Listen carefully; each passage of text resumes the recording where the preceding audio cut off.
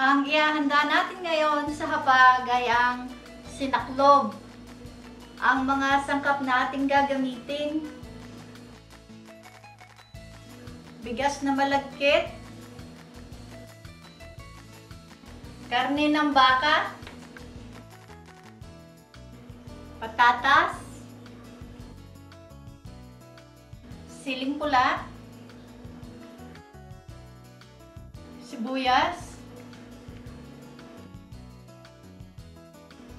Kamatis, nilagang itlog, dahon ng laurel, tomato sauce, toyo, tubig, asin at paminta dahon ng saging, at panali.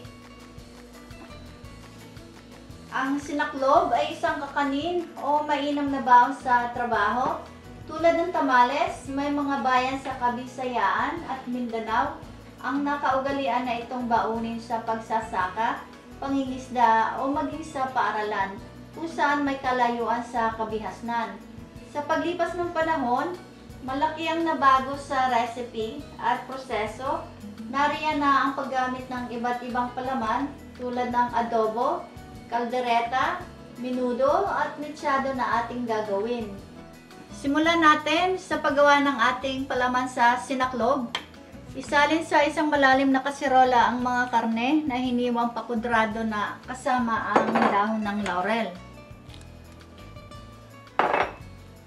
Tinagtad na sibuyas.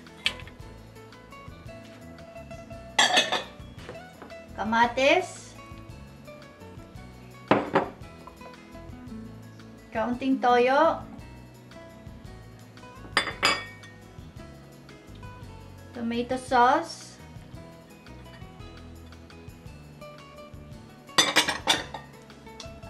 At kaunting tubig. Pakuluan natin sa katamtamang init ng apoy hanggang sa lumambot ang karne. At takpan.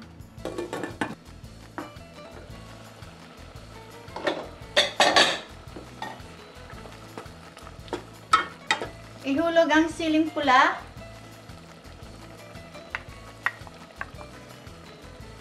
At ang patatas.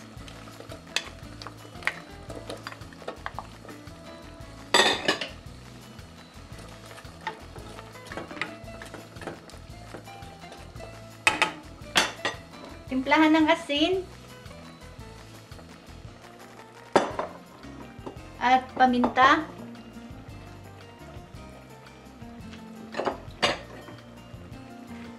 Takpan muli. Hintayin lamang natin na maluto ang patatas. Malambot na ang ating karne.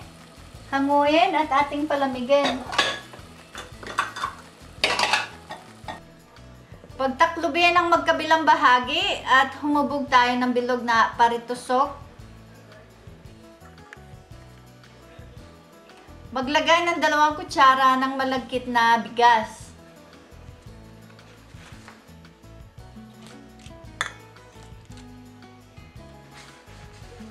Isunod ang palaman. Lagyan ng kaunting sabaw upang humalo sa malagkit na bigas.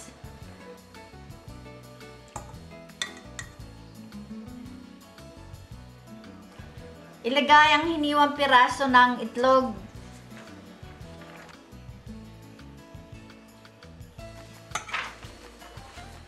Lagyan muli ng dalawang kutsarang malagkit na bigas.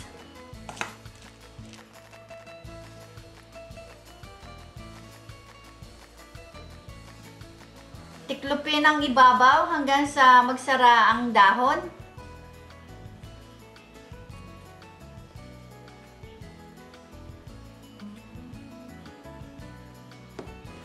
Talian ng lubid upang hindi humulagpos ang laman.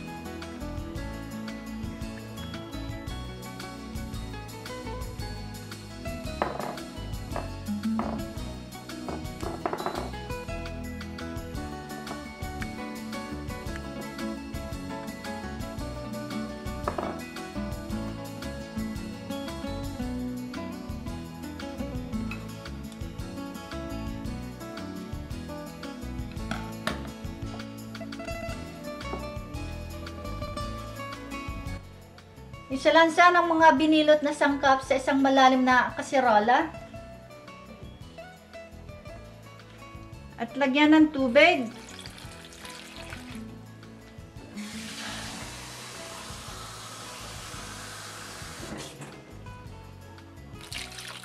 Kailangan lubog sa tubig kung ito'y lutuin.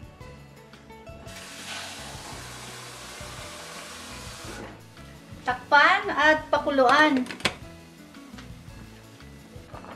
Patayin ang apoy at hanguin ang mga binilot na sinaklob.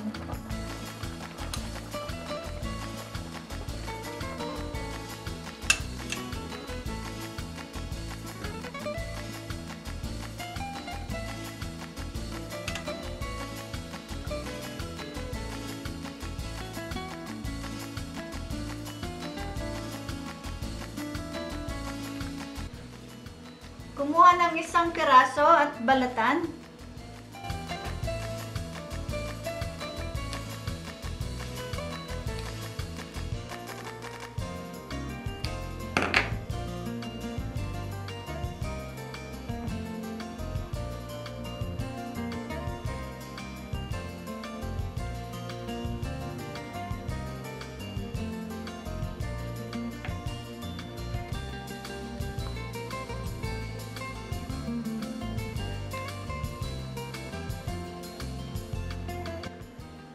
Ang recipe ay inyong makikita sa ibaba ng video. Sundan lang ang link.